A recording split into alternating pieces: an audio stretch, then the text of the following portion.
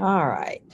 So um, we looked at last time that PyCharm issue, and I just wanted to make sure everybody knows so that the net, if they're using PyCharm, uh, like that one assignment, oh, that's not up, is it? Let me see here. I'm Not showing you guys what's on here anyway. There we go. So, uh, like I'm, there's an assignment, there's several assignment, I went ahead and put all the dates on the, um, on this particular module for next Monday. Because I, I know I told you I wanted unit three test done today and we are gonna do the mind tap problems in there uh, on the unit three. But I went ahead because um, people may have not seen that change in the date. So you, I won't open it again like I had to for unit two, but you'll see the unit three test says September 23rd. This one, the more on variables, there was quite a few people that didn't turn that in. And I had one student in the online ask me what exercises to do, but I don't know why they didn't see, because did you all have any problem knowing which exercises? Whenever I did it, I, I understand because I've seen. Yeah, it should show two. the first one, but there's a link next to the two up there where it says complete the following. And if you click on it, it takes you to W three schools. This link? No, the one, the little At number arrow. two. Yeah, right the arrow. next to number. Oh, two. that? Yeah. Oh, wow, okay. And That confused me when I first started it, but when I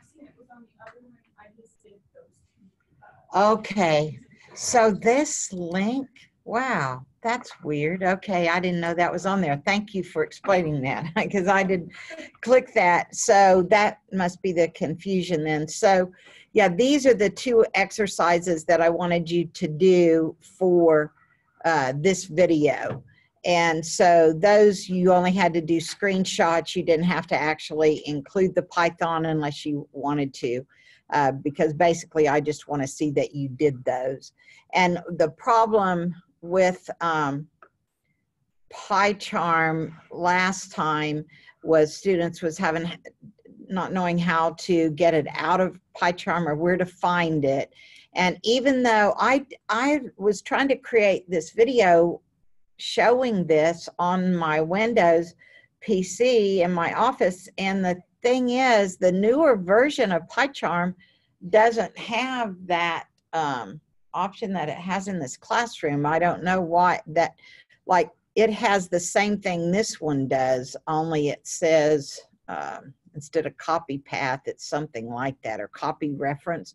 Then the recent update, like, um, like, um, Yeah, that's what it was. And I downloaded the recent PyCharm and it's not the same one. Now, this is the Mac one, so it is a little different. But when you call it up on your desktop, down here close to the bottom, it has something like um, file path. Isn't that what it says?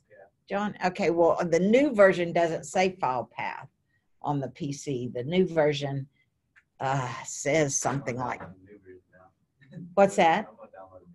of PyCharm. Yeah, it, but anyway, you, there's another way around that. Also, you can always say save, and when you click, um, or you can, there's a one up here where you can say save as. I think it's right here. Yeah, and then you'll know where what the path is to where that's being saved, and you can even change the path. So even in Windows, that's a way to do it. If you're not sure where this is saved at, you can do it that way. I believe I found something up here too on how to find it. But um, this is just because on the test, when you take a test or you do an assignment, if you go ahead and are able to screenshot the run and all of your code, then I can accept that as a screenshot rather than you uploading the actual Python. But if you're having trouble running it or you don't get the right output, if I don't have your Python program, I can't help you if you understand what I'm saying, because I only have the screenshot. So that's why I usually tell you to upload both. It helps me uh, to grade it faster if you give me the screenshot where your output is correct and your code is here. So I would take a screenshot of this whole thing and and upload the Python file, but I don't usually require both. So it's just up to you. If I have the three files, the PDF with your um, pseudocode and flowchart, and then this PDF, and then the Python file. And I'll go over this again before test two so that we know that's the ones that's important, but the homework assignments that I give, which I'm gonna, we're gonna go over one of those uh, today that I'm gonna give for next, that's due next Monday also. So in uh, here, that that was the problem with that. So let me go back and make sure. So hopefully my online students will look at that. Um, okay, that was, this is module two that we're in. So you do that one. This was up here. Um, you should be able to see that. That's the Python answer if you had problems when you turned in 8B and you didn't understand it. There's an example of the answer. So the unit three test, which we're going to kind of skim over unit three today, I'm hoping that you already read it because I don't want to spend time lecturing on the chapter. I would rather spend time doing problems together.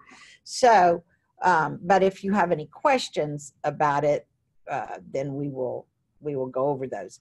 This is another one of that guy's tutorials, more on variables, but you're not, this is not actually due. I should have scooted it down here until after all of this because we haven't really we we talked about functions last time and we were going to do some functions but i'm actually going to wait on that. And so this will be your introduction to functions the the in python.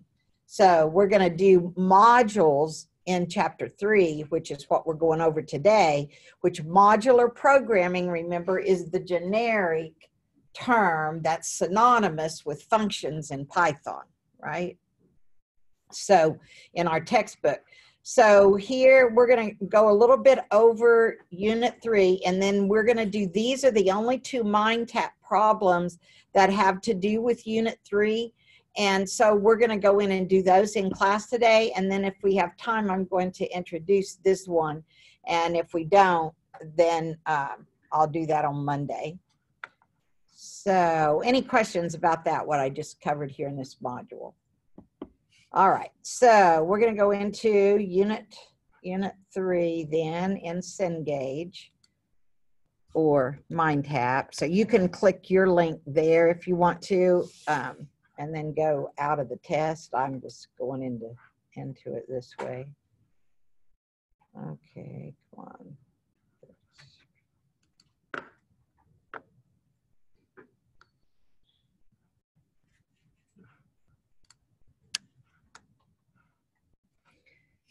So I'm going to I'm going to go over the chapter a little bit, but I want to be sure that we have time to do both those MindTap problems. And we didn't finish that one on purpose that we were doing in PyCharm. And I will, we're going to finish that one a little bit later when we talk more about functions. If you already finished it because you wanted to see how Python works with functions, that's great. That just gives you more practice but we're going to go on to the structure, which is part of modular programming. So that's why th this chapter actually has the basis that I've been talking about that if you know these three structures and combining those three structures, then you can write any program, you can solve any problem, whether it's an engineering problem, whether it's a um, cyber troubleshooting problem, whether it's a business related problem like the payroll that we did, payroll problem, those problems can all be solved using a combination of these three structures. And I think I talked a little bit about the spaghetti code in the beginning of the semester, which is just not having any kind of structure in your code. And if you go back and read that and you have any questions about what spaghetti code is, let me know. I'm not going over the examples in the chapter. They're very confusing. The way they do the pseudocode and the flowchart in there, we can look at one of them and I'll show you what I'm talking about. To, to me, this is this shows you exactly why spaghetti code is bad. Don't do it. And it tells you, and if you can follow this and not be confused, then uh, you should be teaching because this is a very confusing flowchart. And to me, when they show you things like that, it doesn't really help you learn the right way. Um, it's just showing you things that you should not do. But these you will go back to. You should always remember where the little little flow chart and pseudocode for these three structures is at sequence, selection, and loop. And sequence is the only type of program that we've been doing up to now, like your test number one was simply a straight sequential piece of code. It was input, a process step, and output. You couldn't branch anywhere, you couldn't loop anywhere. It was just a sequential run of a program. So you have to understand sequence because in order to do selection, which what's another term that's used for selection? You've been reading about, and I've called it that. Whenever you have a diamond shape in the flow chart, it, it selection means that you are going to determine which direction to go. I'm going to mm-hmm. select either the yes branch. Sometimes it's called branching, is what I was trying to get at. Sometimes it's called branching instead of selection, though, or an if then else is a selection statement. Okay, so that's what selection means. Loop is there's a lot of different kinds of loops, but we're going to basically most of the time be using a while loop until a couple chapters down. We're going to do for loops when we get to arrays. So there are different kinds of loops, but the one we're going to be talking about first that is one of the easier ones to understand. It's a little more coding. But here's what I was talking about to remember where these are located. Sequence means I start at once at the top and I go straight down to the bottom, sequential. And it doesn't have to be a math problem. This was like directions. Go north on First Avenue for three miles, turn left on Washington Boulevard, go west on Washington for two miles, stop at 634 Washington. So there's no decisions to make. You start at the top and you go to the bottom to get to the location 634 Washington. Okay, so the next one is a selection structure, sometimes called a decision structure, and a special kind of decision is called a Boolean expression where it can have, and we did mention this earlier, I remember in the semester, and I told you this was named after a man named Boole. He's the one that came up with this type of uh, this it's not code it was actually algebraic is where he came up with it. So val there is two comparison there's a comparison and it can either be true or false. Some programs programming languages allow you to do true false you can set it up to say yes or no. There, it's a state of two switches. They're either on or off. And those of you in engineering, we talked about this before. You you will have to understand in a circuit that there's groups of switches, and there's they're in um, uh, groups of eight, and one of them's called a, a byte, a word, uh, they're, they're groups of 8, 16, 32, um, then they go up to 64, 256. They're, they're like groups of, of uh, eight, and that's how they're set up. But we're not going to be having to work with that. If you want to know about binary and how that works, there is an appendix in Cengage at the end of the book that tells you about exactly how binary math works. So here is an example of a flow chart that has a selection in it. And so up to this point, we haven't used the diamond shape. Somebody did in their test and I and it wasn't uh, you can't, whenever you get two inputs, that was where a lot of people were having uh, problems, were thinking that there was two branches. There's only a way to branch, like here, this is just showing there's all these sequential steps going on, and all of a sudden I have a decision to make. If the decision is yes, I want to do what's in this box. If the decision is no, I want to do what's in this box. But you notice that they all have to meet, both branches has to meet and go back down. That's structured code. You don't want one going off out here and having a chance to go up here and one going down here and never meeting. So here it talks about George Boole. That's the guy that came up with it. He came up with that logic. A flow chart that describes a selection structure begins with the decisions uh, symbol. Now, pseudocode uses an end structure statement.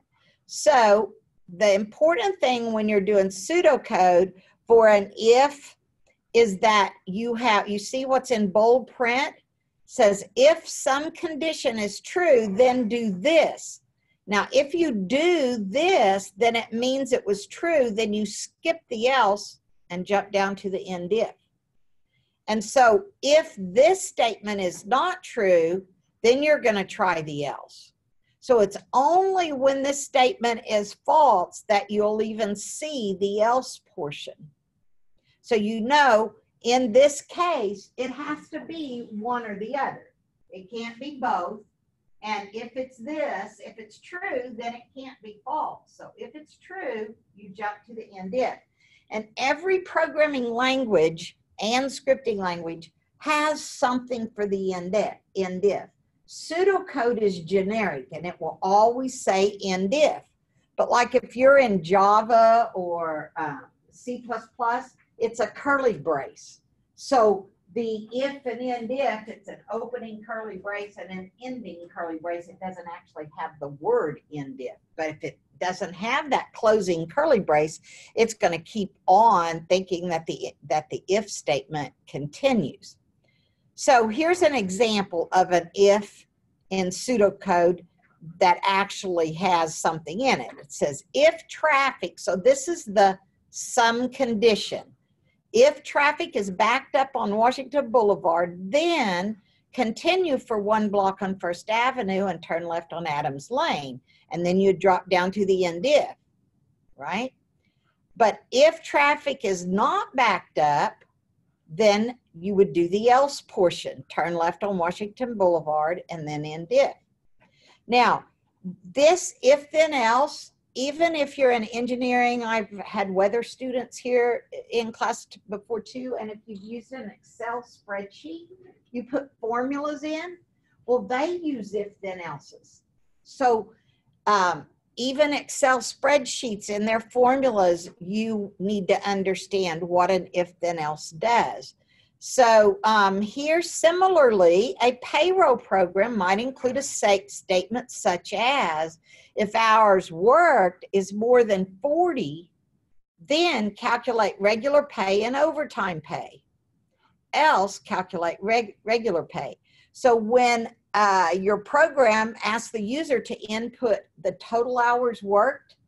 If it's over 40, then it's going to jump automatically. I'm, I'm sorry, if it's over 40, it's going to go here. If it's un, if it's 40 or less, it's going to go to the else section and then end if.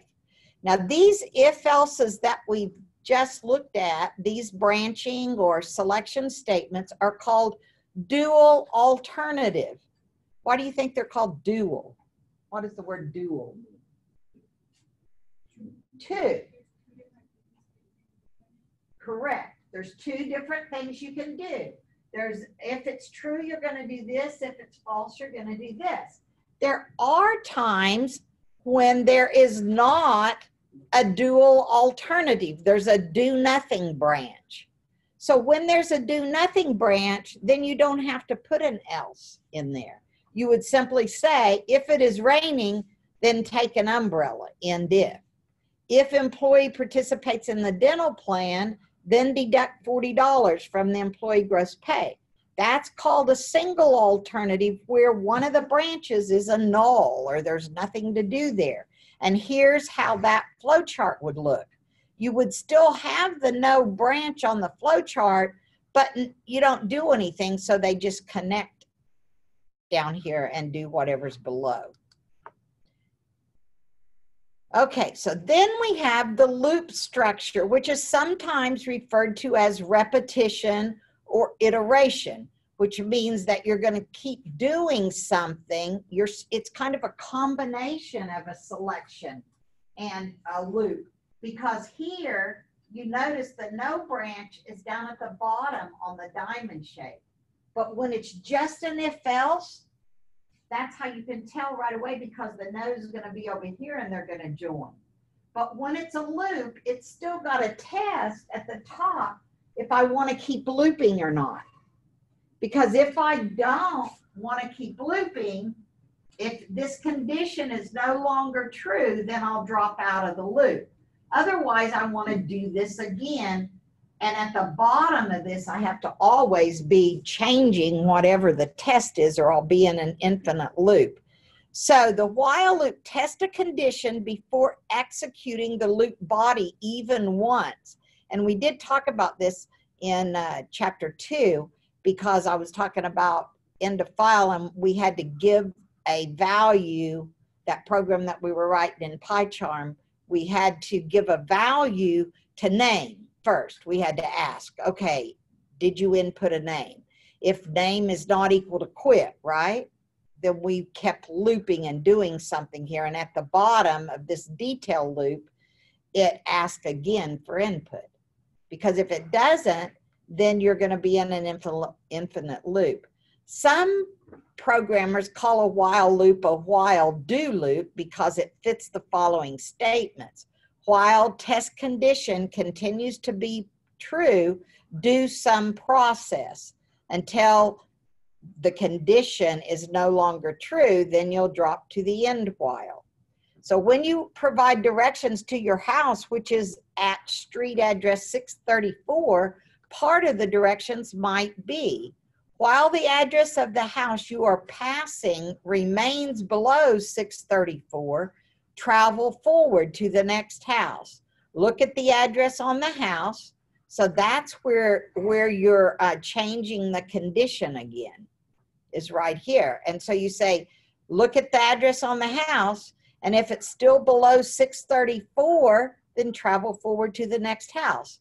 As soon as the address on the house is 634, you would drop out to the end while. See how a loop ends? So you've got to be able to, to do that at the end. You encounter examples of looping every day as in each of the following. we do this all the time. While you continue to be hungry, take another bite of food. Determine whether you still feel hungry. If you do, then continue in the loop. That's how simple a loop is. We think of it as all numbers and logic, but everything you do every day, you don't realize are logical um, uh, patterns that you follow. You just do them without thinking about it. Well, with logic and with a computer, you have to tell it every single thing that you want it to do, and you have to test am I still in that state?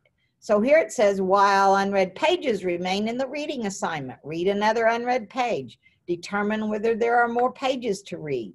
If there are, then continue in the loop when you're done in the while. So, and these are combining structures, and that's a very good little video. When I, I'm just not, you know, it doesn't, there's no purpose to play it in class, but you guys should watch those if this is your first uh, introduction to loops or structures. So all logic problems can be solved with only these three structures. Combining them are sometimes referred to as stacking the structures. So here's a simple example. Step A and step B from top to here are sequence. You just do one step after the other. Then there's a branch here. There's an if else that says if condition C is true, do what's in step D. else, do what's in step E. So this is a, what kind of a, a if else? Dual or single? Dual. Then we'll drop out of that one and our loop says condition F, if it's true, do step G and continue to do step G until condition, condition F is no longer true, then drop out. So that's the use of all three structures in one pseudocode or flowchart. That's a flowchart. So we can also do something called nesting structures. That's usually what confuse is a little more confusing. So what's nested inside this if else? What kind of structure? Sequence, selection, or loop? Sequence. So in the yes side of the if else, there's a sequential structure. There's nothing over here. So if it's false, you're going to do nothing. So what kind of a see of a selection is this? Single. Very good. So in the pseudocode for the logic, the indentation shows that all three steps must execute if condition H is true. These three statements constitute a block. So now they took what was step in and nested a loop. Look at what the pseudocode looks like. It says, if condition H is true, then I'm going to start the sequential steps, but inside the sequential steps, I nested a while loop. And the while loop says continue until condition M is no longer true. Then I'll execute step L, which is part of my sequence, and then I'll end if. So here's another one. Yeah, this is another one that's nested. So this portion is nested inside what? What's that? That's the beginning of a while loop, right? It says while condition M is true, then I'm going to do this if statement that's nested inside the while. It's on which branch of the while? It's on the true side, right? It's in the loop. So it starts out and it says if condition O is true, then do step P. If condition uh, O is false, do step Q. And look where this line comes. It comes back up to test the while loop again.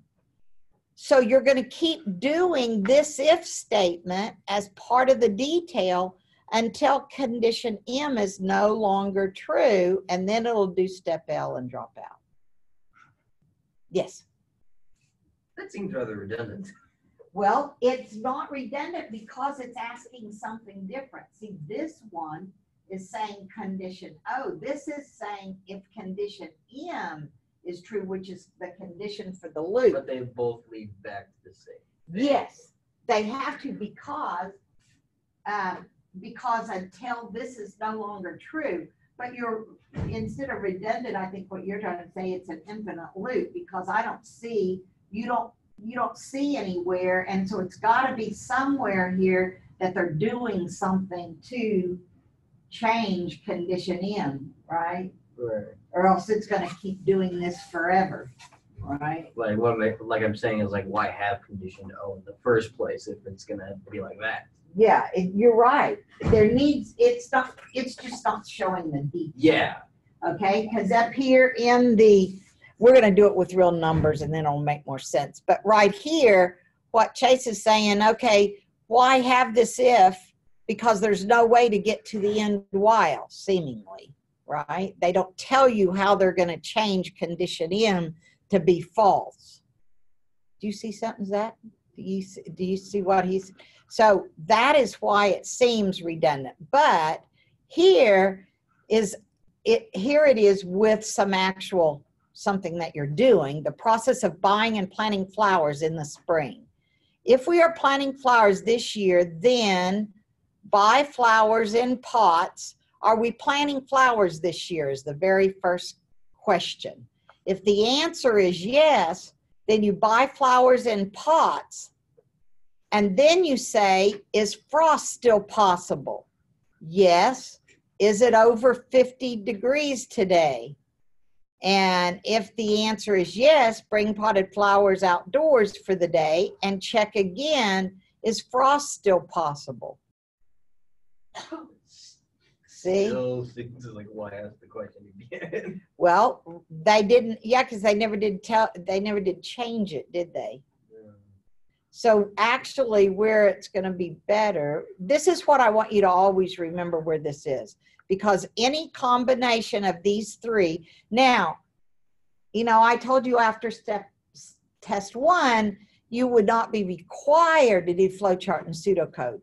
So whichever makes better sense to you, this should show an example of the pseudocode. But th- this is an example with flowchart what how you do sequence, how you do selection, how you do loops. And they're open-ended, so that means you can stack them. There's different ways to put them together. Uh, the, but the thing is, imagine physically picking up any of the three structures using the entry and exit handles. These are the spots at which you could connect one structure to another. Similarly, any complete structure from its entry point to its exit point can be inserted within the process symbol of any other structure forming nested structures. So here's the summary of what went on so far. And then they tell you, watch that video on understanding structure. And so she will explain it. Let me go back up there. Where's that at? Is that at the top of here? Where we were at? Yeah. Okay, I think in this case, I am going to play this and see because of Chase's questions. I want to see how she explains it here. Hi, this is Joyce Farrell. Let's talk about structure. Structured programming has three structures.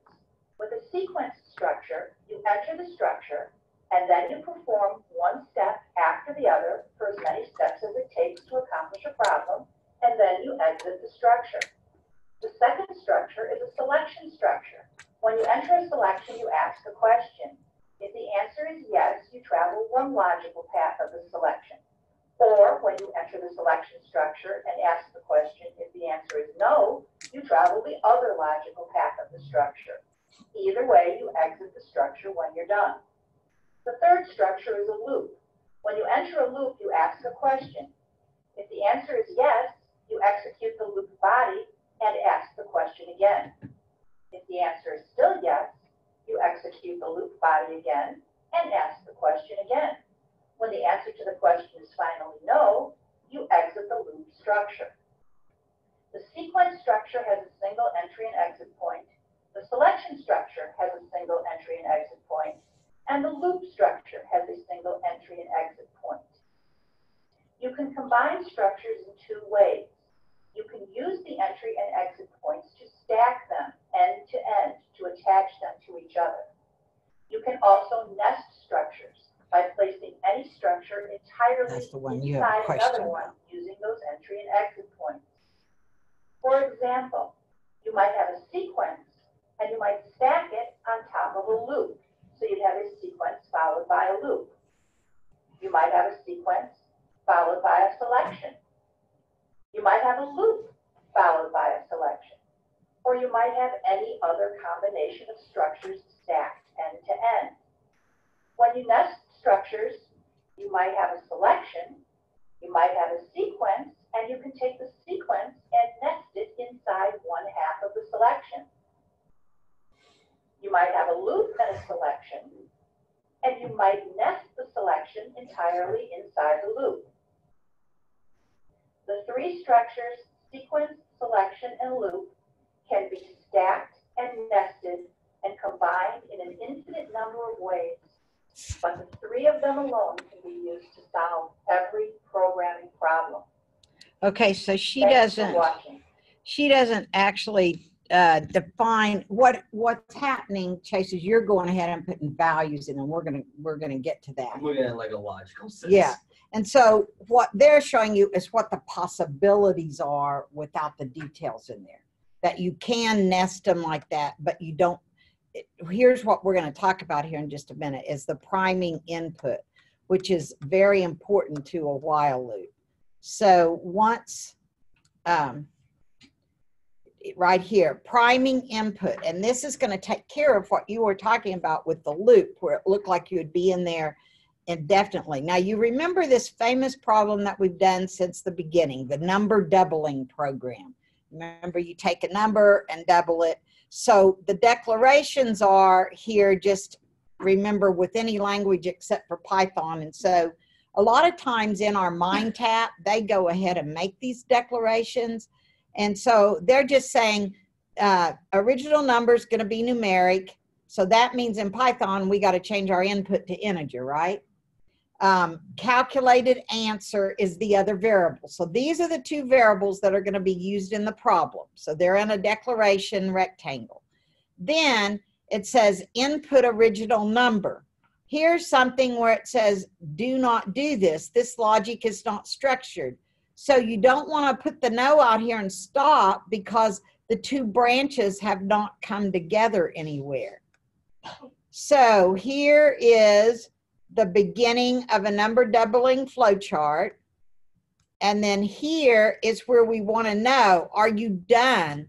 And this is not, this is testing the condition, but it's got it backwards. So let me show you where they started right. Don't, oh, why do they keep showing don't do it? I don't want to see the don't do it. There we go. Okay, so here's a functional structured flow chart for the number doubling program. You have your declarations, you have your priming input. Why is this called priming? What do you do? You guys are too too young to remember how when you used to have to pump a, a car foot feet to get the gas primed up into the tank.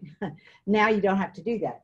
But when you used to have uh, stick shift cars and it was cold out, you'd have to hit the foot feet several times and it was called priming the, the feet. And so that's what this does. It puts something in it before there's any test done. And if you don't have this and you come to the test and you haven't asked what is a number that you want to test to see if you're finished, then it won't know, it won't uh, have any, any way of getting out of the loop. So here it says, this is the proper way to do the loop.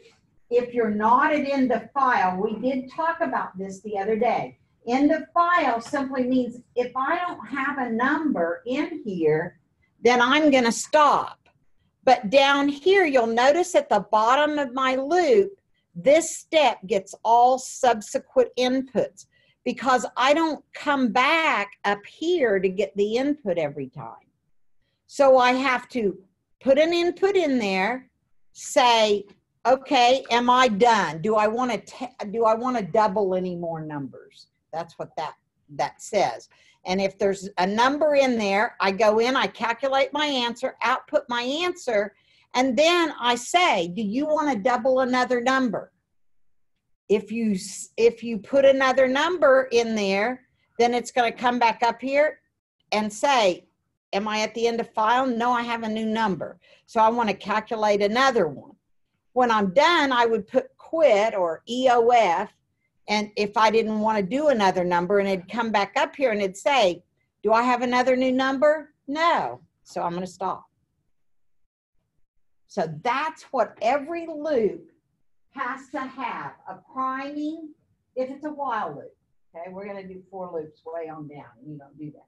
But there's a priming input, and there has to be another way to um, change the value, or else it'll keep doing that one number. If I didn't have this down here, it's going to stay in here with, say, I put five in there.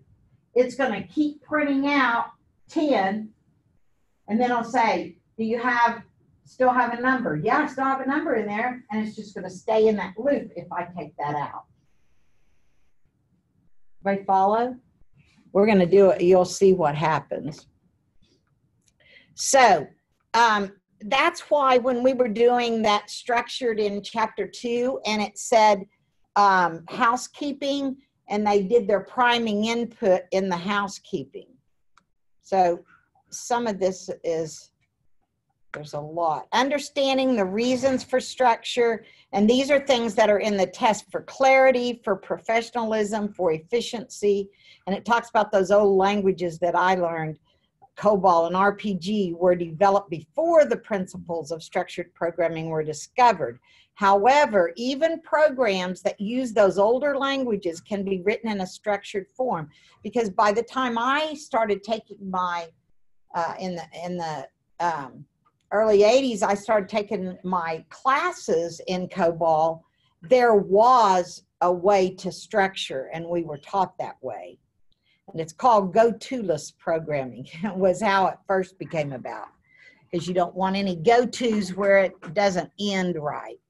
And then it gives you some other reasons that it's important so recognizing structure they have you do that there's a bunch of exercises here that i don't i don't go through so but if you're having problems recognizing the difference then you need to go through those and yeah, that's one of those confusing ones. This was one, this one is similar to the one we have in MindTap. Look at the pseudocode. If you see what the pseudocode looks like, why didn't get big for me? I don't know why. But you can kind of see this was like washing a dog is the routine they used. So they said, catch the dog. Does the dog run away? Yes, then catch the dog again and go what? Did the dog run away? No. Then turn on the water. Does the dog run away? Yes. Then turn off the water, catch the dog. You see all the nested ifs and all that? so that is an example of using nested structures over and over. Um, and here is where they modularized it. You remember we learned about this shape? um, the shape with the uh, horizontal bar across the top and then Lucidchart we'll be doing it with the bars on the side.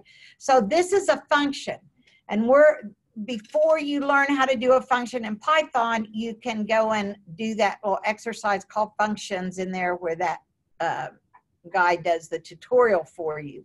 But this is a flow chart using functions. So it makes the code a little simpler to have catch the dog and start the water as a separate routine. And that's what they're doing here. You notice they have the separate module down here. So that's what this part is about. Okay, so we're going to go over, then that's the end of the chapter. So we're going to go over and we're going to do the first problem and um, in MindTap. So now remember, Monday, I know we'll have class again, so I can remind you again, but I always put so that it's consistent and isn't confusing. I went ahead and put midnight on Monday night for this being due, the unit test, unit three test. But um, you should have already read it and taken it at least by Monday, even if you haven't by today.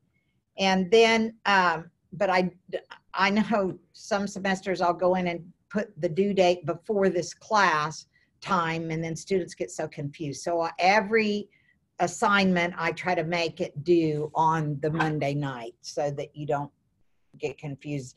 And then that way I don't have any excuse for reopening those. All right, so we're going to go into, let me go out of this. Um, yeah, I don't want that one. Okay, so uh, we're going to go into the code and using flowcharts and pseudocode in Python. Your link is inside uh, Canvas, right? So you click on it. And there's not much you have to do in this particular one because they're wanting to show you a good example of pseudocode is what this first one is about. It doesn't actually have the flowchart, it only has the pseudocode. But it tells you here in this lab, And if you don't want to do it with me, then if you get stuck, you'll at home, you you know, you might not be able to get 100%. So, in this lab, who's done it already? Okay, did you guys have any trouble with it? No. Okay. This one you only have to actually do 3 lines of code or two, I can't remember for sure. Um, it's partially created Python program is over here. But what's important is to look at the whole problem is actually solved with the pseudocode. So you could do this pseudocode in any language. Now, if you look at this statement as compared to the pseudocode, what do you see that's different? In this line of code, if test score is greater than or equal to 90, then that's pseudocode. This is Python. If test score is greater than or equal to 90, colon. So the colon in Python is the syntax.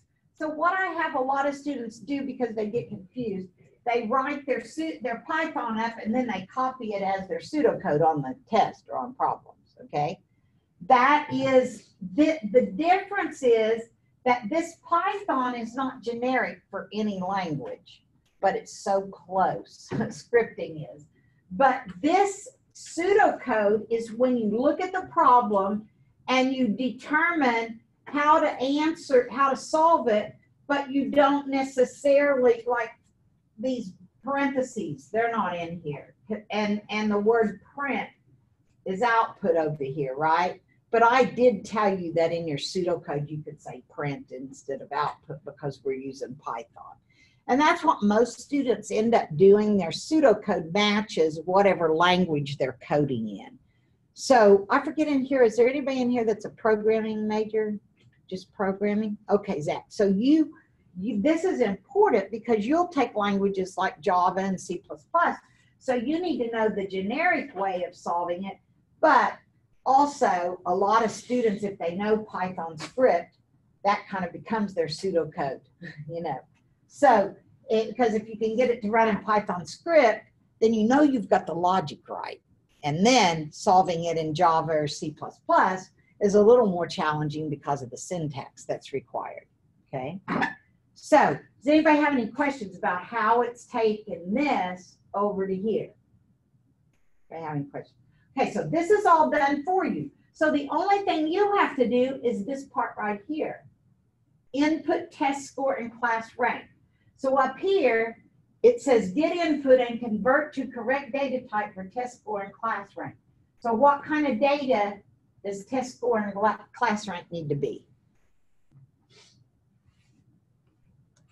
What do they come in as when you do your input statement? So it's going to say as what? They come in as a string, right? And you have to change it to an integer. So you go test score equals integer parentheses input and then you say uh, what did it want us to say please enter a test score and then does it have a colon after it I think it's pretty picky. Let me see here. Let me find it. Make sure I get it right. It may, it may be not as, where did that go? Um, now I lost, oh, there it is. Okay, I changed where I had everything. Okay, so these, um,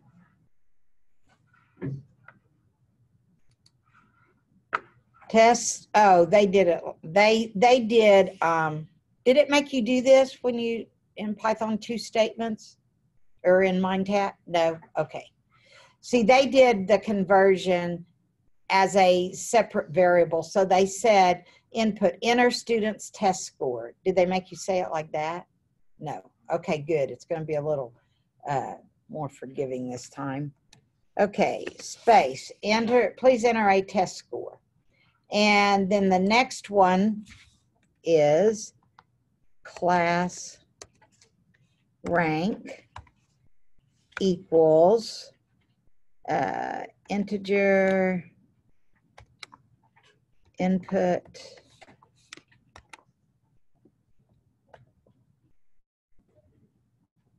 um, please enter a class rank. Okay, so now let's see if it runs. That should be all that you have to put in because they've done all the rest of the Python program. And these are ifs and nested ifs. You see that? It says if test score is greater than or equal to 90, and if class rank is greater than or equal to 25, then accept that student. Else, print reject. Then it says else. So if it's come up here and it's it- and it's not, it drops out at this very first if, it's going to drop to this nested if. So if it's not 90, it's never going to get to this one. Right? And so here it's going to say if it's 80 and the class rank is 50, then accept and and if not print reject. So it's only going to print reject on the second nested ifs here. So down to 70. So if it's not a 90, 80, or 70, then it's automatically going to print reject, right? So what does it tell us to run with first? Uh, tells us to run the button at the bottom, entering an 87 for test score and 60 for the class rank.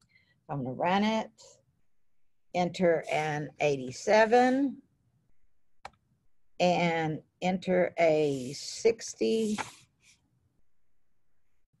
Oh, did it in? Yeah. And it said accept, which should be correct.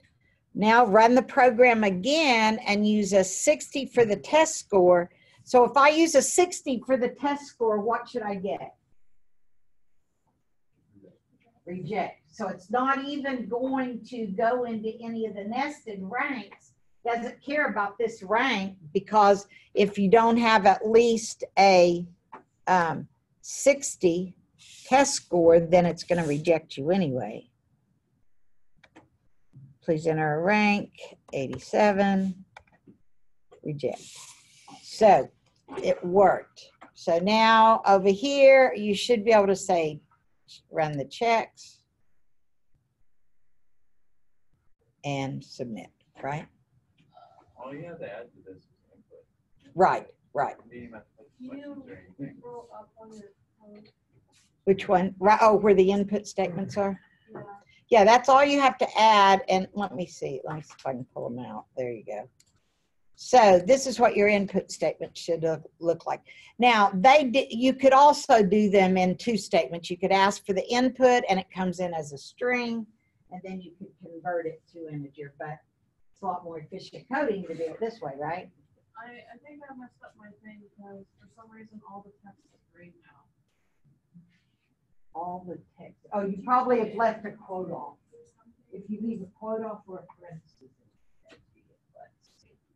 Uh, Yeah, oh, you put it, where'd you put your input?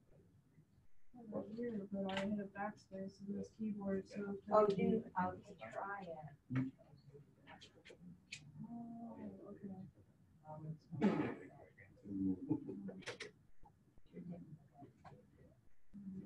so. Is there a way to restart it? Yeah, but it won't have. That's fine. Okay, yeah, you can just close it out.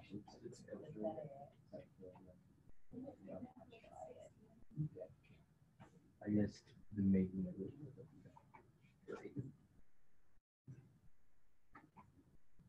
Oh, I think you took your comment off. That's what you did.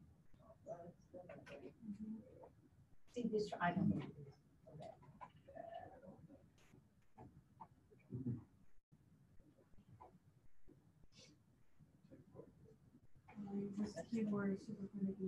Okay, if I you.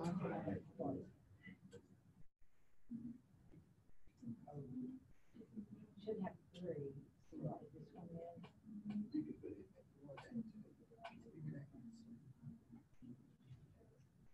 There it goes. Okay. That's the comment. All, all she did was up here where this, you know, we were trying to figure out multi-line comment last time. It's three double quotes at the beginning and the end. Uh, or one single line quote or comment is with a hashtag. So if like this whole, all these green lines of code are multi-line comment with three double quotes. And then the hashtag is if you just want to do a single line quote for the comment. Okay. Okay, so this one, Question on- oh, is yours not working either? I'm pretty sure all I did was, I think I'm almost there. I just went to school the other day. and, uh, I Oh, inner, uh, what it says over here, 87 first. Don't need to put a colon, No. No, because the colon should have been in here, Okay, but it might do, okay, now hit enter. See, anything that you put in the double quotes is gonna print exactly like that to the screen. okay, And anything outside the quote, see, that leaves you room then to enter the input. So now try 60 and it will see if it'll do that and go ahead and write it in. Uh, no, hit enter. It's already running. See, it says it's Okay, set. So okay. now you run it again and you, you, you just flip the values and it's gonna get reject. So now you put 60 in first and then reject. Okay, So now you go over to your checks and see if it'll give you.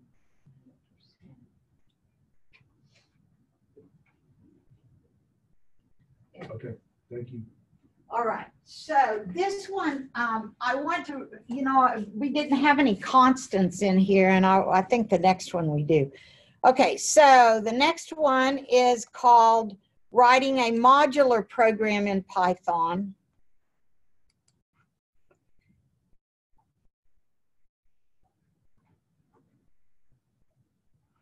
So in this lab, you're going to add the input and output statements to a partially completed Python program.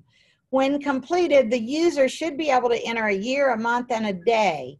The program then determines if the date is valid.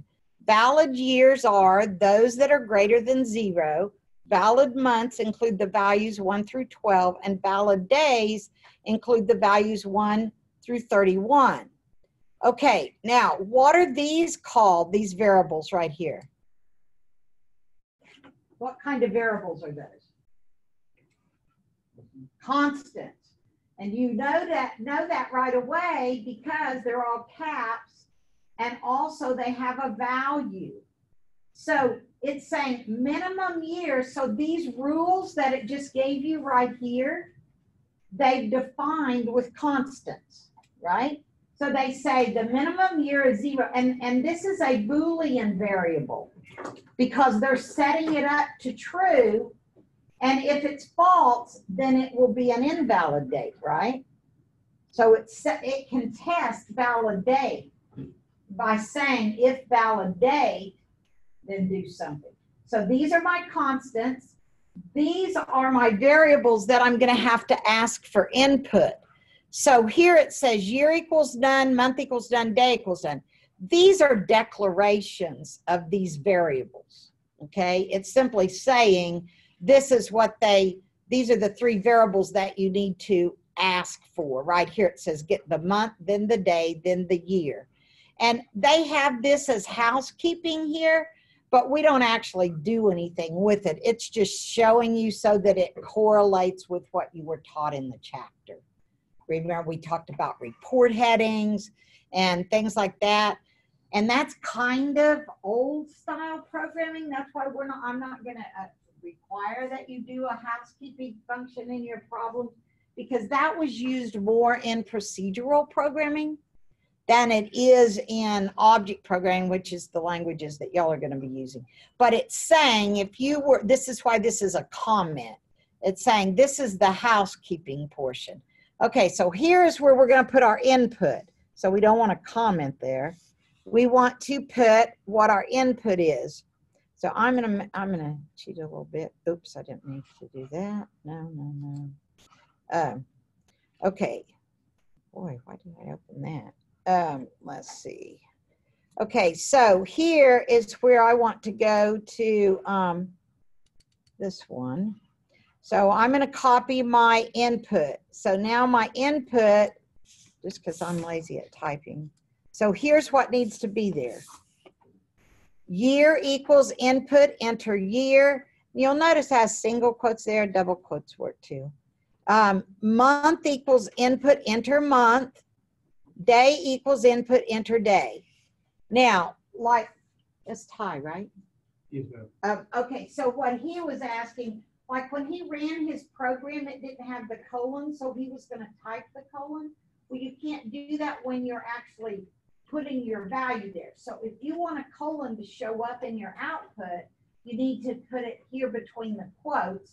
And then there's a space so that your, uh, input value is not right up against what, what's printing there. That's how you get it to look a little better.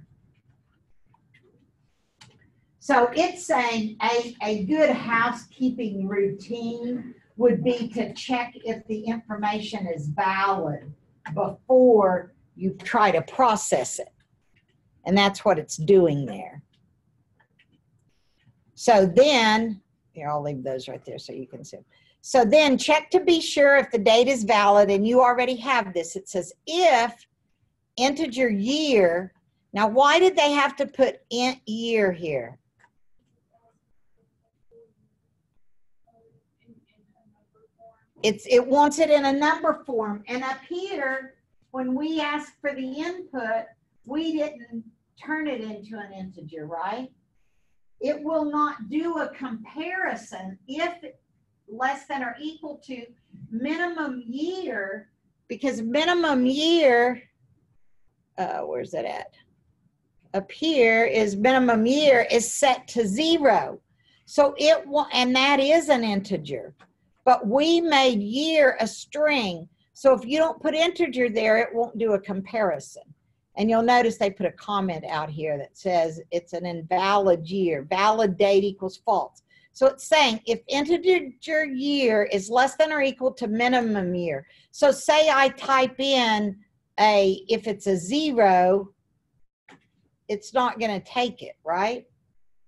I type in, type in, if it's less than or equal to minimum year, then it's going to say it's, it's invalid. It's, is what it's going to change valid date to false. So down here in the end of job portion, it says if valid date is the same as true, I've got to put an output statement, right? So if it's still true that it is valid, oops, I didn't do that right. I got- let me- um, Well, it hasn't finished yet. We haven't finished it. We got to do our output, okay? Now our output statement will say, this has got a lot of coding in it. Let me move it over so you can see it. That's what it looks like. And else, if it's not, if it's false, we want to say something else. We want to say invalidate, right? I'm going to copy it, sorry, and then I'll put it over there and you'll see. So the only difference in this output statement and the previous one is that this one says invalid date. So if valid date is still true, because look up at the top, we set valid date as true, right? So it's initialized to true. And so if it doesn't fall in one of these if statements and set it to false, it's going to print validate when it gets down there. So we're going to try it here in a minute. I'll let y'all get it typed in. Now these slashes, you see what it's doing? It's a string. So it's saying print month plus a slash plus a day plus a slash plus a year. So it's going to print out whatever date you entered. And it's going to say that date is a valid date. If it doesn't fall in the valid, then it's going to print that same date that you entered, but it's going to say is an invalid date. So that's all this is doing. It's testing for whether the date is valid or not. So it's using a selection statement We, we haven't even used a loop or anything in this one.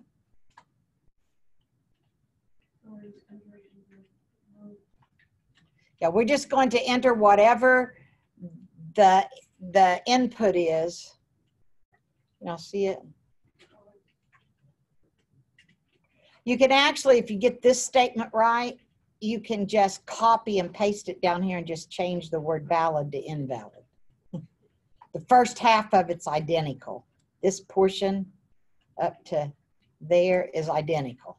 So you can copy it down to the second one and just change the word valid to invalid.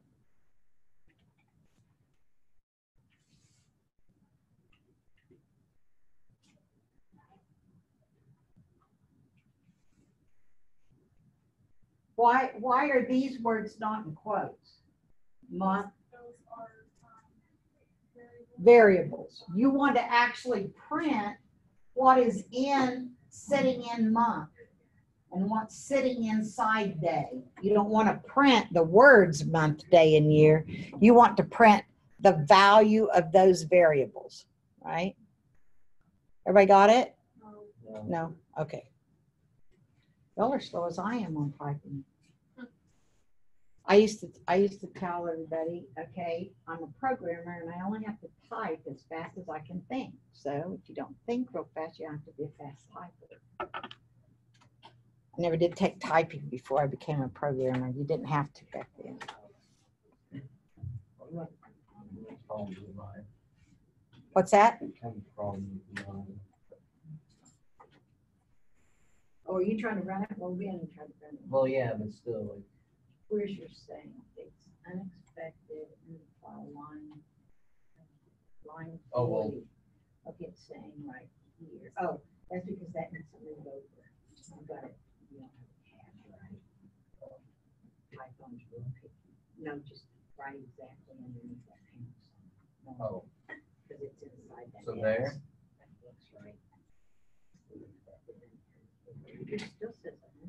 Yeah, I, I just checked it while we were doing that. So it did say a hundred percent. There we go. That's all it was. Python's real picky about the indents. All Chase's was is he had this print statement indented over under the word output. Python's real picky about that. You gotta have it right in the right place. Get it, Caitlin? Do we do number twenty-two? Or twenty-three, I'm sorry, and seventeen, What now? Twenty-two and seventeen, Twenty-two and seventeen. on the code part. Oh, line number? Oh, no, there's nothing goes there. Uh, there's nothing goes there. Is that what you're saying? 23, no, that's just got a comment there. Does yours not have a comment there? Oh, it does. Okay. Now, you, oh, I see what you're saying. Do you type anything under there? No. This is saying, this is a comment to the user saying, this code right here is going to check to be sure the date is valid. Now, um, I'm hoping you got that running. It has you do it this way with this because I need to go over and show you what the head first program is that you can start on. That will really show.